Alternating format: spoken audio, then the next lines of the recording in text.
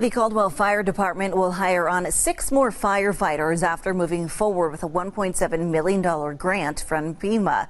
With continued growth all across the city, the fire department is grateful for the new resources. Fire officials say they respond to more than 7,000 service calls every year with an average of about 200 structure fires each year. Along with the extra crew members, Caldwell Fire will also use the cash to buy a new ladder truck.